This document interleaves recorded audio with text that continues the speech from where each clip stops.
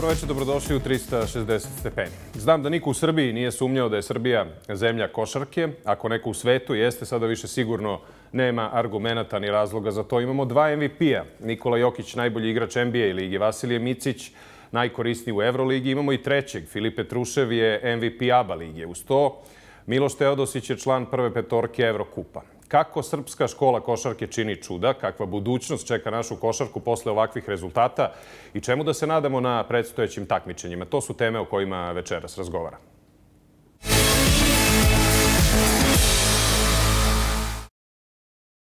Za 360 stepeni večeras govori legendarni košarkaški trener Željko Obradović. E, gospodin Obradoviću, dobroveče. Hvala vam mnogo što ste ovde večeras i što govorite za medije posle duže pauze. Dobroveče, hvala vam na pozivu. Ovakav individualni uspeh naših košarkaša i ove, uh, ova priznanja koje su osvojili Jokić, Micić, Petruševi, to jeste zaista presedan. I već sada ljudi govore da je verovatno nemoguće da će se to ikada uh, da više ponoviti. Jeste vi kao trener koji ste čitav život u košarci očekivali da je to moguće? Pa mislim da niko nije mogu da očekuje da se tako nešto dogodi. Ovaj, fantastični rezultati, u toku sezone su doveli do toga da pre svega Nikola Jokić bude proglašen za MVP NBA lige. Sasvim zasluženo, verovatno će ja biti jedan od mnogih koji je to prepoznao i gledao sam i pratio, zaista je igrao izvoredno na ogrom broj utakmica i to ono što ga je izdvojilo da bude MVP. Takođe, Vasa Micić je dominirao ove godine u Euroligi, bio MVP i regularnog dela sezone i Final Fora.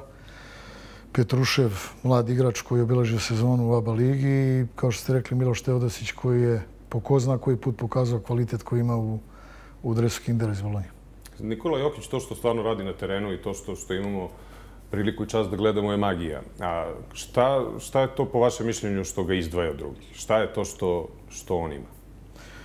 Pa ima raznovrstnost. Ima raznovrstnost ono što je moderna, zahtev moderne košarke. Pod broj jedan, On je nevjerojatan dodavač. Mislim da je najbolji dodavač od viskih igrača koji se ikad pojavio u istoriji košarke. E, bili su igrači koji su igrali na tim pozicijama. Da se vratimo kod nas ovde u staroj Jugoslaviju, da je recimo bio prvi Krešimić Josić koji je imao te kvalitete da proigrava sa igrače i da praktično bude prvi visoki igrač koji se izvlačio napolje i proigravao ovaj, i bekove i krilne igrače. E, posle njega čovek koji je imao te sposobnosti bio Vlade Divac, koji je takođe bio dominantan u tom segmentu igre i Dejan Tomašić, recimo neko ko je sa tih pozicija dominirao i znao da povuče i kontranapad, da da loptu i tako dalje. Nikola Jakić ima sve to, ali ima ono što je u modernoj košarci veoma važno, on ima i šut za tri poena. On ima šut sa polu distance. On ima izvarednu igru u leđima. Ima neverovatan osjećaj za dodavanje. Ima mm, najlepše, verovatno, u košarci meni kao treneru je kad me igrač iznenadi. Nikola je jedan od tih igrača koji je sposoban da, iznadi, da iznenadi, ja verujem, i svog trenera i sve saigrače i sve ljude koji prate košarku. Tako da pričamo o čoveku koji je ekstra talentovan u svakom pogledu. E, znate kako, sve ove nagrade koji su ti igrači dobili su dobili su zahvaljujući njihovim kvalitetima u napadu.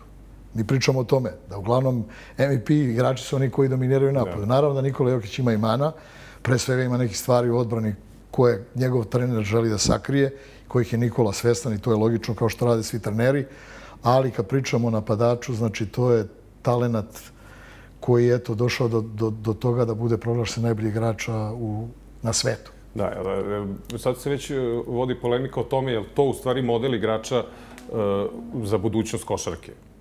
Da je, da je to centar koji igra praktično, može da igra igra i pozicije, odnosno radi stvari koje rade playmakeri. Pa dobro, nije tajna da... da... Dalek je put do, do tog trenutka, naravno. Da, da, ali nije, nije ovaj, e, nešto novo da želja svih trenera je da imaju u timu recimo petorku gde svaki igrač može da pokrije svaku poziciju. To bi onda bila neka, što kaže košarka, kakva nije viđena. To znači da svi budu otprilike na iste visine, isto građeni, da imaju istu brzinu, da imaju istu skočnost, da imaju iste mogućnosti da šutiraju tri poena, da su trkački sposobni, atletski građani i tako dalje. Na sreću, Nikola Jokić je pokazao da ne mora da se bude ne znam kako atletski građen, nego da imaš dovoljnu brzinu da brzo misliš, što je sigurno u košarci veoma važno. On to pokazuje iz utakmice u utakmicu. Ovaj, I verovatno će sad mnogi treneri i mnogi igrači pokušati da ga kopiraju. To je nešto najbolje. Između ostalog, Nikola je dao jednu fantastičnu izjavu da, da je njegova želja da ako ovo priznanje koje je dobio pomogne da neki mladi ljudi krenu da treniraju košarku, da se bave košarkom, da je to onda verovatno a, najvažniji od svega, svih pohvala koje, koje je dobio posle ovog velikog priznanja. E, o, ogromne transformacije koje on e, doživio i koju smo gledali e, kako mentalnu, tako i fizičku. I sad ste pominjali, imaju on i dalje neke neke mane, možda fizičke, ali koliko je teško napraviti tako nešto? Sad svi pričamo o, o nekome sa viškom kilograma iz Sombora koji dođe i postane najbolji na svetu. Dobro, on je, znate kako, evo, da se vratimo podatak, on je izabran 40, na 41. mesta na draftu. Da. I sad se tu naravno otvara pitanje, pošto je bilo kako neki ljudi greše i tako dalje. Zamislite koliko je klubova i menadžera propustilo njega. Ako on s 41. pozicije došao da bude MVP lige. E sada, tu sigurno postoji ono što je on pričao i ja ne bi stvarno da, da ja pričam previše o Nikoli i da ovaj, dolazim neke detalje koje verovatno mnogo više ljudi koji su bliski njemu znaju. Ali je sigurno jedna, jedna stvar koja je veoma važna. To je da njegov trener prepoznao to što on može da uradi. I ako pogledate strukturu igre u napadu ovaj, Denvera, vidjet ćete da je Nikola taj koji mnogo toga započinje ovaj, na spoljnim pozicijama. I da praktično ta uručenja koja on radi, da je to pre svega zasluga, ja mislim, njegovog trenera Melona koji je njemu, u njemu prepoznao čoveka koji može to da radi da kreira, znači da bude kreator. Nikola jeste strelac, jeste ove godine da ima fantastične brojke, ali se vidi i prepoznaje se da on uživa mnogo više u tome da dodaje, da, da razigrava sa igrača. I to je ono što verovatno svi njegovi saigrači i trener prepoznali. Ja mislim da je to velika zasluga trenera. U ostalom to, nadam se, jednog dana ćete imati priliku Nikolu da pitate, pa će vam, pa će vam on verovatno najbolje objasniti. Ali ima još jedna, izvinjam se, ima još jedna veoma velika sličnost između njega, recimo, i ovog uh, Attokumba. Jer takođe trener Milwaukee je njemu dozvolio neke stvari. Naravno, mi pričamo o čovjeku koji je mnogo brži i od Nikole, ali u nekim drugim segmentima igra ne može da se poredi s njim. On je bio već dva puta MVP, ali je takođe dobio priliku od trenera da on započinje napad, da on otvara prve pasove i tako dalje, da radi uručenja, da ima mogućnost da on bude igrač sa loptom koji igra pik, a takođe da bude neko ko postavlja pik. Tako da to isto može da radi i Nikola. Je li tačno to da, da i dalje evropska košarka ne može fizički da napravi od igrača ono što, što napravi uh, košarka u Americi, odnosno ti njihovi programi koje, kroz koje tamo prolaze? Pa dobro, to je apsolutno drugačije, zato što daću vam primjer ovog našeg dečka Pokuševskog, koji praktično niti je šta odigrao ovde kod nas, niti je odigrao Olimpijakosu, da je otišao. Igrao je valjda, ako se ja dobro sećam, 7 minuta u Evropskoj ligi. Otišao je u sredinu gde veruju njega i da njima apsolutno nikakav rezultat nije bitan. On je krenuo sezonu, pa su ga slonili u njihov razvojni tim, pa su ga vratili i dečko je pokazao neverovatan talent. Ja isto mislim, ako se bude razvijao na način kako, kako bi on voleo i tako dalje, da i on ima neke domete koji su neverovatni. A, šta hoću da kažem? Da odlazak u NBA i igranje za klub u NBA-u je sasvim različito igranje ovde u Evropi. U Evropi, uglavnom u Euroligi, vi imate imperativ rezultata. Ja to najbolje znam da god sam išao da radim, prve godine od mene tražio da se napravi rezultat i to je tako. Znači, vi u toj situaciji ne možete toliko vremena da posvetite i da date šansu Nekom nekim mlađim da. ali postoji to, naravno. E sada, dobro je da recimo igrač kakav Nikola Jokić je pokazao da može i bez toga, bez uh, takvog nekog ekstra tela da se bude MVP. Uh, rekao sam već za Tokumba da je nešto različito, ali recimo Dončić pokazuje uh, upravo neke veoma slične odlike ovaj, Nikoli Jokiću. Tako da i on nije nešto ekstra što kaže. Jeste da, da on igra na poziciji playmakera sa tom visinom koju ima i izuzetno pametno to koristi. U ostalom, da ne zna da koristi, ne bi igrao na tom nivou. I to je nevjerojatno kako on igra. Zaista koliko je napredovo i koliko ostavlja trag u NBA ligi. I vi ste više puta i u filmovima koji su pravljeni ovamo i intervjuima govorili koliko je teško napraviti i ne koliko je teško i koliko je važno napraviti taj zajednički duh u timu i, i družiti se i na terenu i van njega. Jel vam izgleda Denver kad gledamo, bakar to što možemo da gledamo, a sve je tamo show, program i show time, sve to što prati taj tim oko toga, Denver kao, kao porodica i odnos, na primjer, Nikola Jokića i Michaela Melona, E, da, kao da. nešto posebno. Da, pa vidi se da imaju poverenje na drugog, pre svega treneru Nikolu, a takođe Nikola mu to uzvrći. On zna da je lider. I danas sam negde pročitao njegovu izjavu posle ove utakmice koju su sinoć izgubili, da on kao lider nema pravo da igra slabo i da je njegova obaveza, pogotovo posle ovoga što je proglašen najbolji igrača, da nastavi da mora svaku utakmicu da igra koncentrisano i dobro. S druge strane, pročitam izjavu trenera koji je rekao posle sinoće utakmice izgleda mi da smo se predali. To je direktna poruka njegovim igračima za naredne dve utakmice koje će da igraju kod kuće, ispred, ispred publike. Jeste to, kao što vi kažete, show, ali je to, ovo vreme je play-off. To je totalno druga košarka u odnosu na regularni deo sezone. Sad se igra odbrana, sad se gine za svaku loptu, sad se bori. E, to je ono što je najlepša i najveća lepota NBA lige kad dođe play-off da, da tad praktično svi grizu i svi daju svoj maksimum. I ovaj, meni je žao što u Nikolinom timu nema igrača koji mi mu sigurno pomogao mnogo ovog playa Mareja koji je sigurno bio uz njega najbolji igrač, zato je lopta i toliko u rukama Nikolinom, ali što kaže, oni najbolje znaju verovatno put kako mogu da se vrate u tu seriju protiv Feniksa koji je opet izvredan tim. E, šta je sad ono što po vašem mišljenju čeka Nikole? To je još veći pritisak zato što je dobio titulu MVP. Šta biste mu vi kao trener savjetovali Ne pa- sad samo u play-offu, ako uspeju da, da, da, da pa izađu na kraj sa Phoenixom. Ne bi ja ipak sebi dozvolio da ja savjetujem Nikolu, on ima svog trenera i on će mu sigurno najbolje savjetovati. Nikola je izuzetno pametan igrač i dečko i došao je do ovoga priznanja zahvaljujući tome kakav je.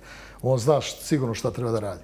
Ja sam imao priliku pre neko leto da ga sretnem ovde u Beogradu, malo smo porazgovarali i jasno mi je bilo ovaj, o kakvom se čovjeku pre svega radi, a o košarkašu mi je jasno gledajući.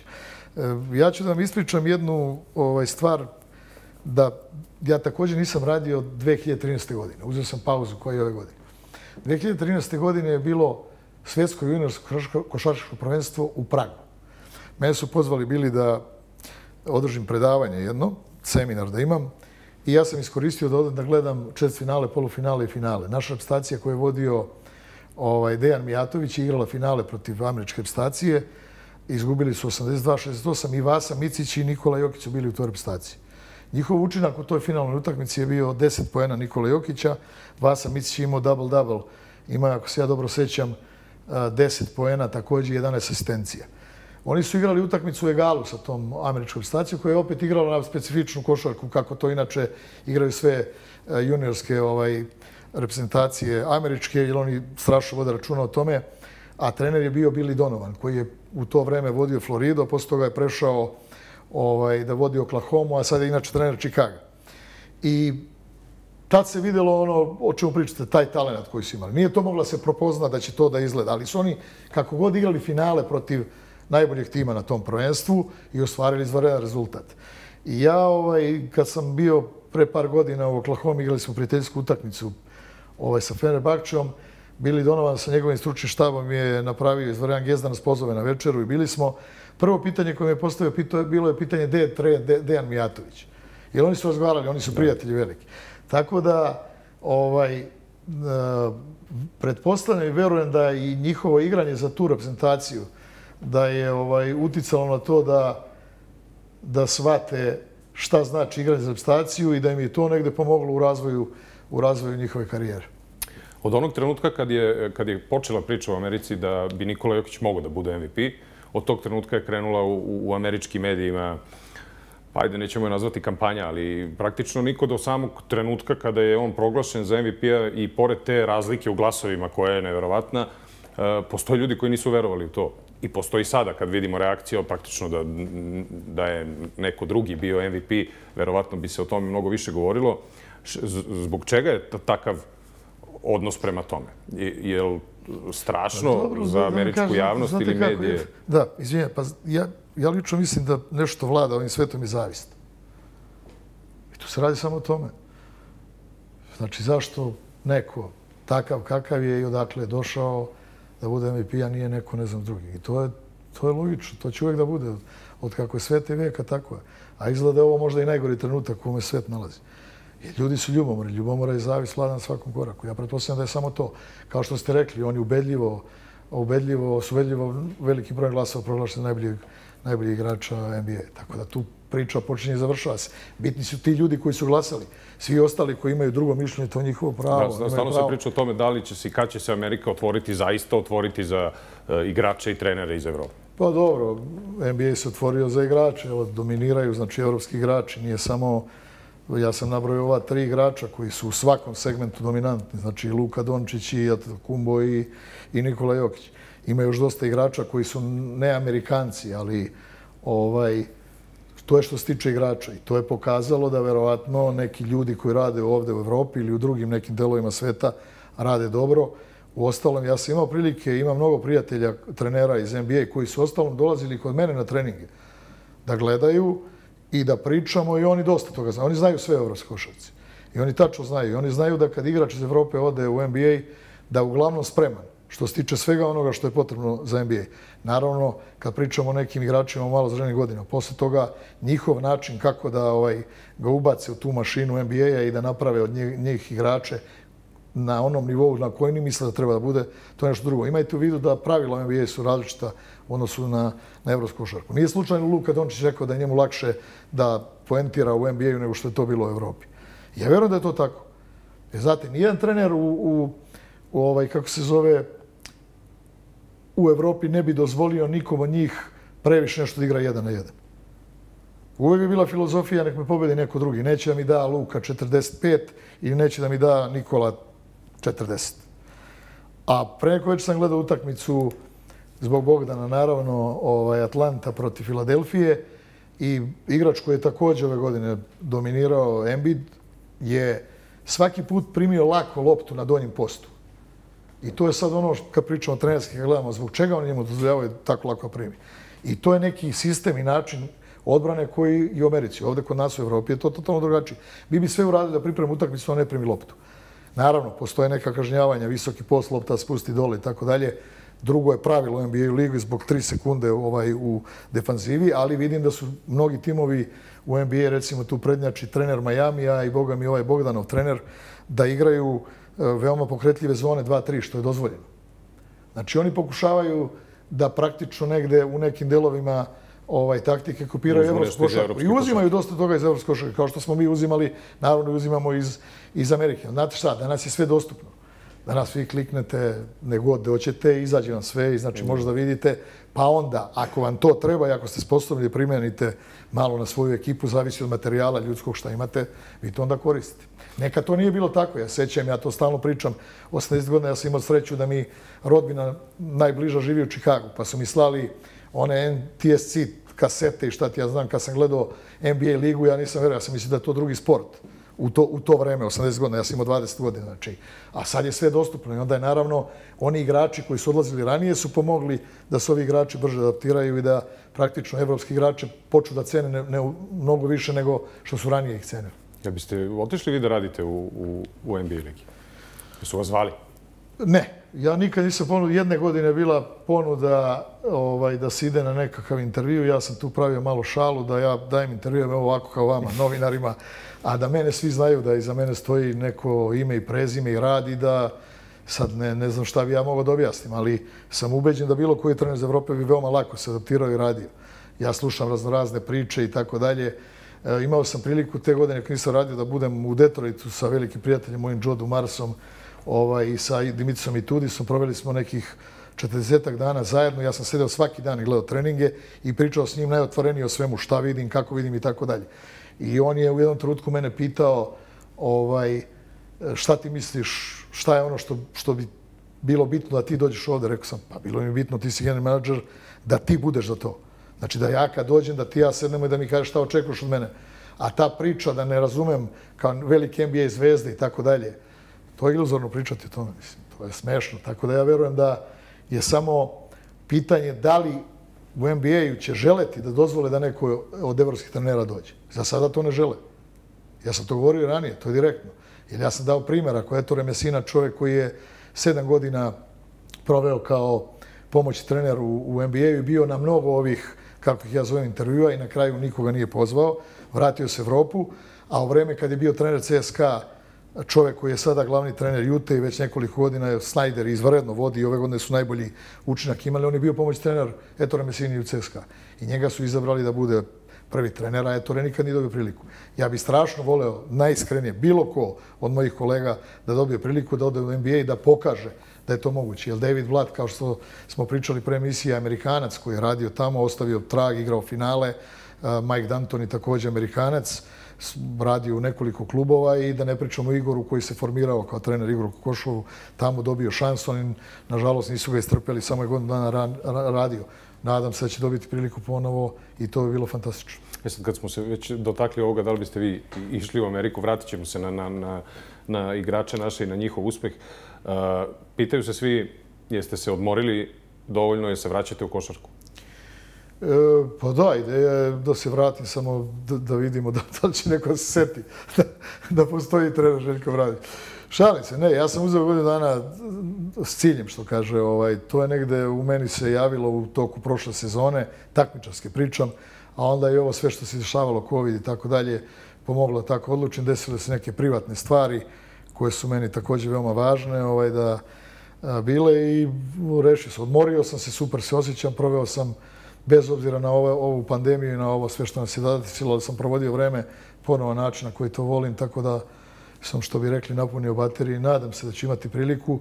Ono što je meni mnogo važno, to je da bi trebalo to da bude povezano sa nekom motivacijom koju bih ja dobio bilo koji klub da je u pitanju, jer ja mislim da motivacija ne može da se radi.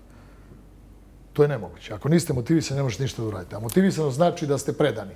A predano znači da možete nešto da uradite. Ako nemate, ako niste predani, ako se ne budete s idejom da budete bolji, da budu svi oko vas bolji, da radite, ali bukvalno krvavo, onda je to u redu. Ako nema motivisanosti, ako nema želje, onda bolje se ne upuštati u neku novu avanturu. Sad u nekim košarkaškim krugovima i u Beogradu i u Srbiji i u medijima nekim su se pojavile informacije Željko Obradović je najbliži povratku Partizan.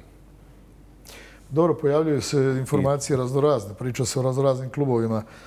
Ovaj, nema nikakve dileme da je Partizan klub koji ja obožavam i koji volim. Tu sam i počeo, tu sam proveo i igračke godine najlepše, zajedno sa onim što sam igrao u Čačku i u Borcu. To su dva kluba koji su u mojeg srcu. Ja sam radio i stekao prijatelje u svim klubovima i ostao veliki prijatelj svim ljudima kojima sam radio u svim ovim klubovima, da nabrajam sad. Ove, ovaj, ljudi će pričati i uvijek će postojati priče. Ja sam rekao da neku odluku o tome gde ću da radim i ako ću da nastavim da radim, ću doneti krajem ovog meseca, juna.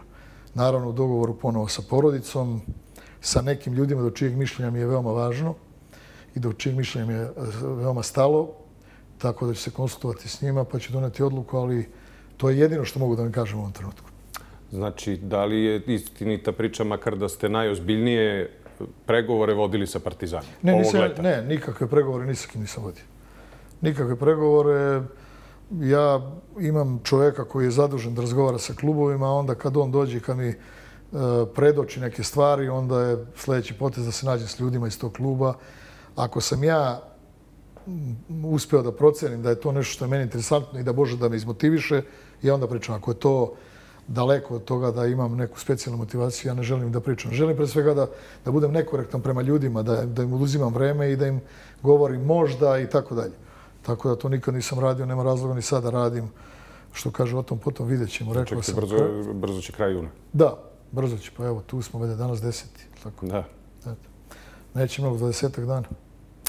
Hvala vam na, na ovom delu razgovora. Ovdje ćemo napraviti kratku pauzu. Ostanite uz 360 stepeni.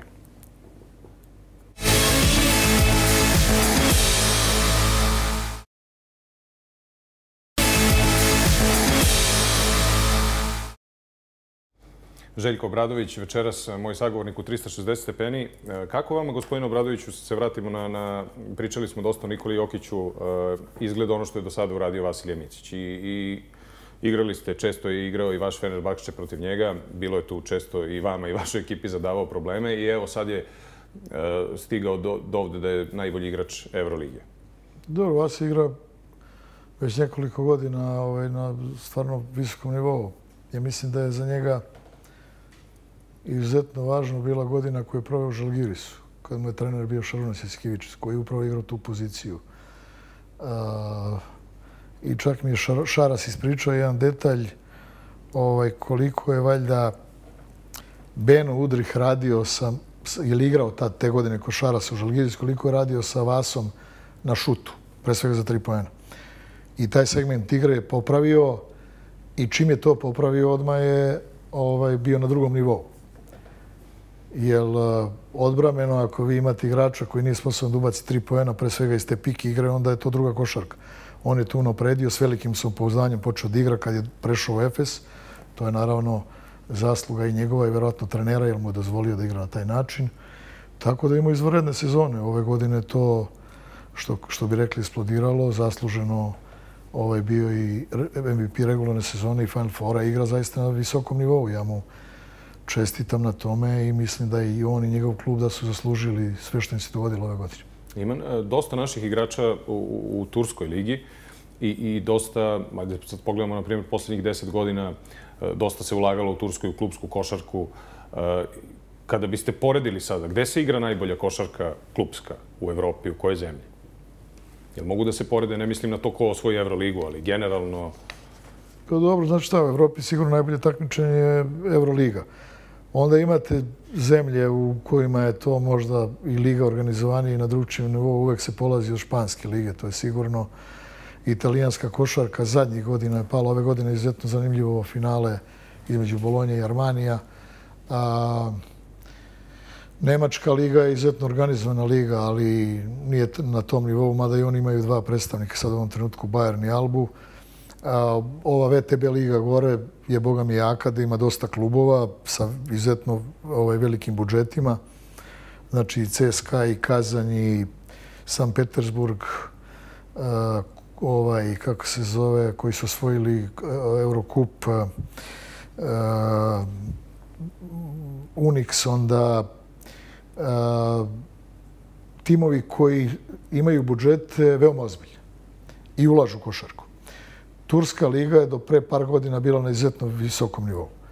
Nešto je slabi kvalitet u možda zadnje dve, tri sezone, ali i dalje je to nivo koji je, kako bih rekao, za poštovanje. Za poštovanje izlazi tu plejada mladih igrača. I ovaj uspeh koji je napravio ovaj, Efes će dovesti toga da mnogo novih klinaca će početi da igra košarku. Ja sećam 2017. kad smo bili prvaci Fenerbahče, pričam koliko je tad to izazvalo euforiju u Turskoj i pretpostavljam da je to sad posle ove Efesove titule, da je da je neverovatan bio porast mladih ljudi koji su ovaj, počeli da igraju košarku, koji se bave košarkom. Iz masovnosti dolazi do kvaliteta, to je sigurno. E, I ono što sigurno zanima publiku, evo za dva dana je kupljanje reprezentacije u, u Beogradu. E, i slede te kvalifikacije za, odnosno taj turnir za kvalifikacije na olimpijske igre. E, kad pogledamo ovaj spisak, koga je sve stavio selektor Kokoško, kako vam to izgleda? Već smo videli ono, nikada nismo imali da. ovakav sastav. Pa dobro, izgleda fenomenalno, samo je, ja mislim da će tu Igor da ima najveći problem. Ako svi budu zdravi, ako budu svi spremni da igraju, ko će da budu 12? manje više se tu zna koji mogu da bude nosioci i tako dalje. Ja ne bih dolazim sad u, u to što je posao Igora Kokoškova i njegovog stručnog štaba, ali u svakom slučaju veliki kvalitet postoji. Samo je pitanje kad će moći da se priključe, u kom će stanju igrači da budu i tako dalje. S moje strane samo da im poželim sreću, da svi budu zdravi, spremni i da, ovaj, da ih bodrimo ovde na turniru u Beogradu i da se zahvalimo svim ljudima koji su omogućili da se taj turnir igra ovde u Beogradu i da možemo da pristupimo i da navijamo, jer naravno podrška navijača je nešto što će vjerojatno biti veoma značajno da bi se reprezentacija kvalifikovala za olimpijske igre. Na jednoj konferenciji za, za novinare, nakon prethodnog svetskog prvenstva, pitali su vas sportski novinari da prokomentarišete loš rezultat naše reprezentacije. I onda ste im odgovorili da se stalno, e, kada je takav neki rezultat bude, se stalno se pominje to odnos, nešto sigurno nije valjalo odnos igrača da. i trenera. E, zašto, zašto se stalno govori o tome? Pa dobro, ljudi, ljudi, pa rekao sam, opet je to ono što smo malo preko zavis, ljubomora, to je ono što vlada i onda dolazite do toga, mora nešto da postoji. Čim je loš rezultat, mora nešto da postoji. Jel, ajde nađemo šta je to, pa ćemo da krenemo od toga da ne znam, tri igrača su imali problem među sebe, ovaj imao sa trenerom, ovaj nije dobar sa ekonom, ovaj nije radio ovaj, ovaj nije radio ono. To stare priče, a suština je da nekad imate i slab dan. I valjda je, ne znam koji je sad to trener futbolski rekao, da se u životu mnogo više gubi nego što se pobeđuje. To je živa istina, ne može stalno da se pobeđuje. Reprezentacija je imala izvaredne rezultate. E, verovatno da je košarkaška reprezentacija navikla ovaj, naciju na to da stalno se bude najbolji, da stalno igraju finala, da se stalno osvajaju medalje i tako dalje. Nije to lako, to je mnogo teško. E, ja bih stvarno voleo da svi igrači budu zdravi i da dođu s ogromnom željom da igraju za reprezentaciju. To je ono što je najvažnije uvek. Ovaj, ne treba sumnjati da oni to žele, ali treba razumeti ako neko se bude osjećao umornim posle sezona i ako ne bude mogao da bude na nivou na kome smo navikli. Niko od njih ne dolazi da bi igrao loše. I niko nema želju kao što oni imaju da naprave rezultat. Jer verujte mi, ja sam bio igrač, e, igrajući za reprezentaciju i bio sam i trener na velikim takmičenjima, bio sam i svetski prvak i evropski prvak s reprezentacijom i drugi na olimpijadi i kao igrač i kao trener i znam šta je. Nikad u životu veću čast i zadovoljstvo nisam osjećao nego kad sam igrao za reprezentaciju ili kad sam vodio reprezentaciju. Klub je nešto drugo. U klubu živite, šta znam, 10 mjeseci, ali kad skupite ovaj, u reprezentaciji, to je, to je poseban osjećaj. Ja mislim da je to kod maltene svakog igrača ili trenera prisutno. I nadam se da će to biti tako i ovog puta. Jel može da neka, posle takvih, na primjer, individualnih rezultata, individualnih uspeha, se stvori neka loša atmosfera, neki ego da proradi kod igrača i da se onda od toga napravi nešto. Mislim, pitam vas to zbog, naravno, 2005. smo videli šta se desilo, ali da li bi sav taj novac i sve veći novac koji ulazi u košarku, jer to gledamo, na primjer, u futbolu, da. I da ne poredimo, naravno, ni ta dva sporta, ni uspehe te dve reprezentacije se ne uporediva. Vas pitam da li preti neka opasnost od, od tako nečega? Da li pa bi to moglo da nešto pokvari? Pa ja mislim da su oni izuzetno ovaj, stabilne ličnosti, da oni veoma dobro poštuju na drugi. Čak sam i ubeđen da su veoma srećni zbog ovih individualnih priznanja koji su imali ovaj, ove godine. Rekao sam podatak da su Vasa i Nikola, Nikola Jokić igrali zajedno u reprezentaciji. Miloš je nešto stariji, ali Miloš je i poznat kao čovek koji takođe neuporedivo više voli da dodaje, ima lucidnost koja je neverovatna za, za košarkašku igru, tako da njemu u tom smislu da bude ljubomora, ne znam, na Vasu Micića ili na Nikolu Jokića, ja mislim da je to nemoguće. Imate, s druge strane, ja mogu da pričam sa velikim pravom Bogdanu Bogdanović, kog sam trenirao i znam kakav je dečko i koliko voli uspeh ekipe i koliko želi. Tako da mislim da su oni ti koji su najbitni, Nemanja Bjelica recimo isto i tako dalje. Tako da mislim da o Bobiju Marijanoviću ne pričam. I sad ovi mlađi, ja ne poznajem ih dovoljno, ali verujem da ih Igor veoma dobro zna i mislim da, da je to nešto što je također veoma važno da se napravi hemija u timu, ali sam ubeđen u to da će oni napraviti hemiju u timu, da će, da će prestacija imati veoma dobar rezultat. Šta je ključ uspeha srpske, jugoslovenske košarke, ali srpske sada, po vama? Šta je to što je srpsku školu košarke napravilo drugačijom i uspešnijom od drugih? Da, to je ono što nas izdvajalo od uvek. To je rad. Samo rad i pokazuje da u malim sredinama treneri koji rade s mlađim kategorijama rade izvaredno. Ja ću dati primjer da je borac iz Čačka ovaj, ove godine pustio dete od 16 godina kadeta da igra. E, to je probao da uradi u Partizan nekim utakmicama, tako da ono što je najbitnije ovde u našim, pričam za naše klubove i za našu sredinu, to je da veruju mladi igrači, da puste mladi igrači da igraju. I to je najvažnije. Mi smo tu uvek radili. Predanost i individualni trening je nešto što je najvažnije. Ja sam imao prilike, nažalost, da pričam i s nekim mladim igračima koji nisu to dobili od klubova u kojima rade. Ne bih stvarno želeo nikog da prozivam, ali pošto ja imam kontakte i dolaze mi mnogo mladih igrača i trenera da pričaju sa mnom i uvek sam im govorio da je najvažnija stvar da radiš individualno da se probudiš ujutru u sedam, da odeš na trening, pa posle odeš u školu, pa ponovo da treniraš. Jer mlad igrač nema vremena za odmor. Mora da mu bude, mi kad kažemo ljubav i, i, i predanost, to je to. Sve može on da stigne da radi. Ali ako voli košarka, košarka mora da bude na, na mestu broj jedan, da živi za nju i da radi za nju i da se budi sa njom. Znači da se budi sa razmišljanjem o košarci. To je jedini način. Sve ostalo, znači rad sa timom, kolektivni trening i tako dalje, to je prosek proseka. I, e, u ovom trenutku ne moramo da brinemo i ovo je dosta mlada ekipa. Jeste. Ovo je dosta e, mlad spisak od ovih 25 igrača koji igraju za reprezentaciju. E, da li imamo i trenere paralelno koji se prave, pitam vas o, o funkcionisanju čitavog sistema. Da li ćemo imati ponovo Željka Obradovića, Dudu Ivkovića, Svetislava Pešića i mislite da već ima nekoga ko bi mogao da krene da krene vašim stopama da napravi takve rezultate? Znači šta, ja mislim da već da je bilo Saša Đorđević ima izvredne rezultate sa reprezentacije. Saša Obradović, nažalost, je imao epizodu u Crvenoj zvezdi koju je imao, neki drugi mladi treneri su imali u drugim klubovima i tako dalje. Ima trenera koji sigurno zaslužuju veliki respekt sa onim što su radili ovde. Uvek mora se vodi računa o tome, upravo priču o materijalu koji imaju u timu. Mi to treneri znamo da, da procenimo i da, da vidimo e, što kaže gde se vidi trenerski rukopis. To se tačno vidi. Kad gledaš, ja kad odem na bilo koju utakmicu i gledam utakmicu, tačno mi je jasno šta i koliko trener radi. Tako da u tom smislu verujem da postoji. Šta treba da se dogodi? Treba da se dogodi da, da počnu da prave rezultate. Onda će kao, što je logično, biti cenjeni. Onda će ljudi početi da pričaju njima. Sve dok toga nemaju, može, možemo mi koji prepoznajemo to da im odamo priznanje, kao što ja radim sa mlađim, mlađim kolegama i pričam im. I veoma mi je drago da, da imam priliku da pričam sa mladim trenerima i da im ukazujem pre svega na neke stvari koje su veoma važne za trenerski posao. Uh, jer ja kad sam počinjao, najveća moja sreća je bila da sam imao profesora Nikolića pored mene.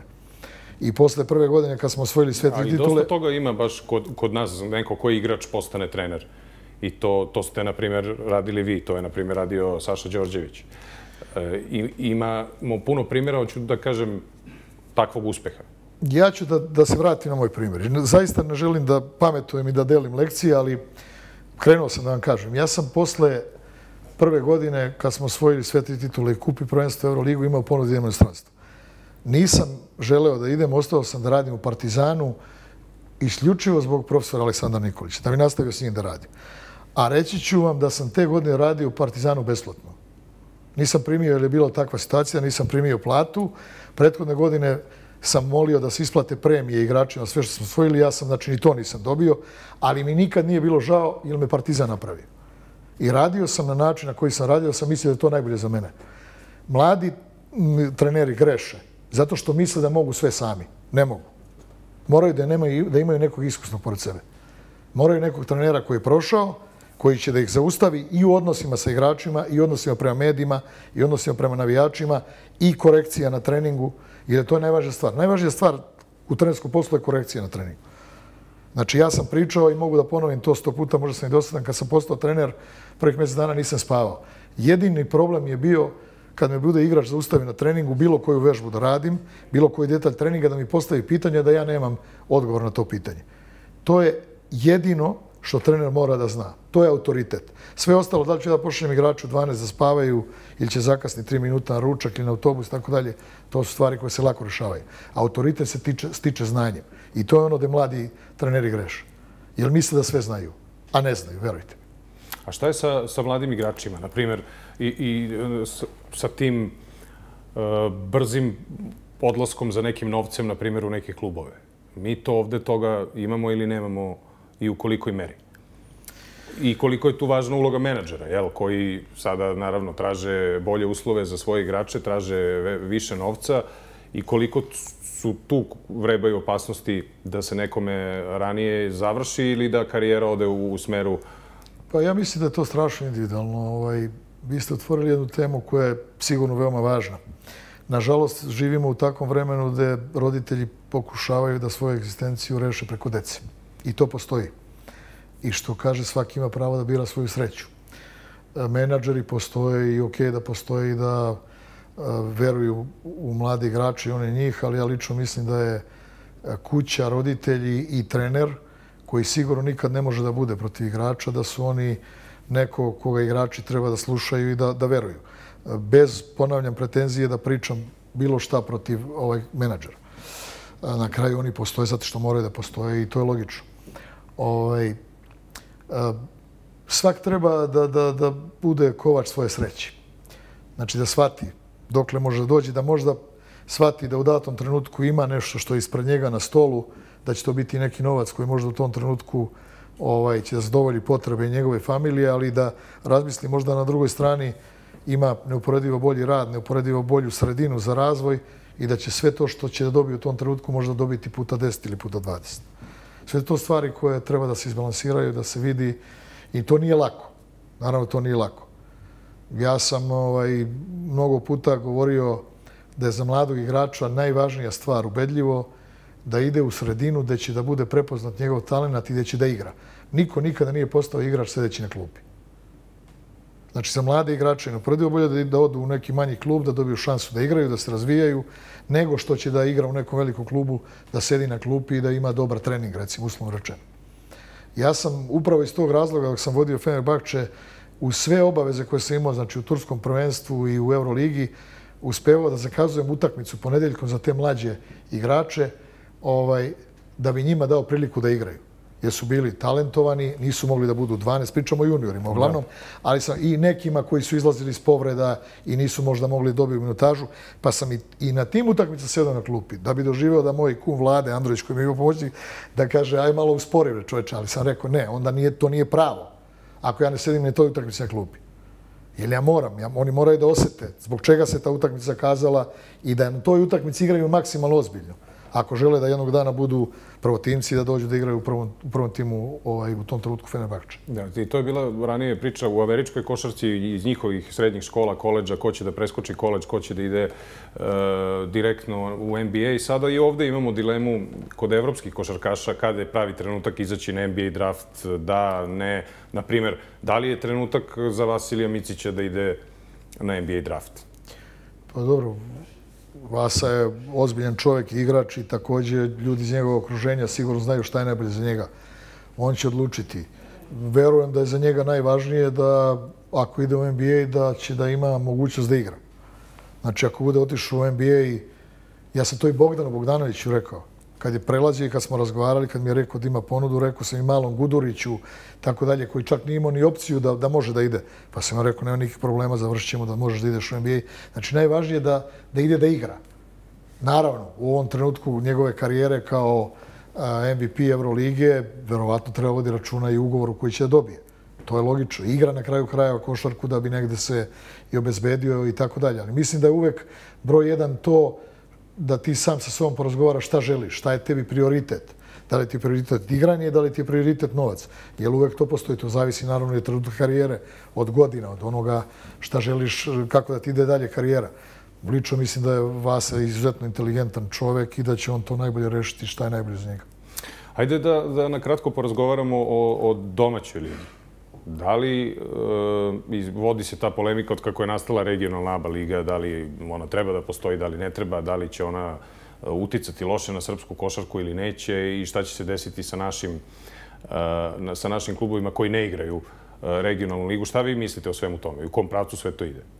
Kada pričamo o budućnosti ta, srpske košarke. Da, ta regionalna liga je zaživjela odavno, tako da sad vraćati priču šta je moglo da bude drugačije i tako dalje, ja ne vidim. U svakom slučaju naši timovi su se izuzetno dobro snašli u toj ligi. Mi imamo valjda najveći broj klubova u toj ligi. Imamo izuzetno dobre rezultate. Već godinama Crvena zvezda je prvak, pre toga je bio Partizan mnogo puta i tako dalje. Ono što je meni veoma važno i što sam ja rekao i ljudima ovde s kojima razgovaram, a pričao sam i ljudima iz Evrolige, to je da ja mislim da dva kluba iz Beograda apsolutno zaslužuju da budu članovi Euroligije.